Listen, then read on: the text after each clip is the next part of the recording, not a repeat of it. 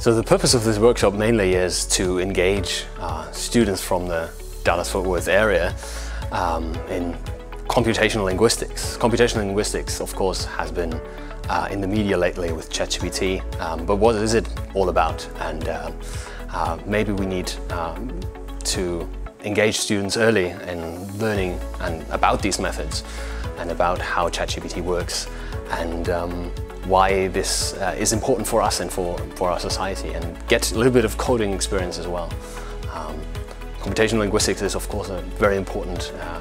very important skill also for the job market later on and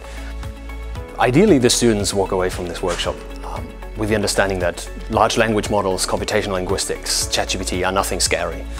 Um, there is something, uh, there are things that are here to stay uh, and there will be in the future probably an uh, an integral part of our job market, of how we live.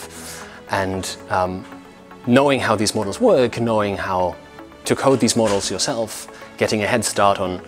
on, uh, on understanding these models um, also for the future will benefit them greatly and benefit uh, general understanding of computational literacy and how, how computational models in general work.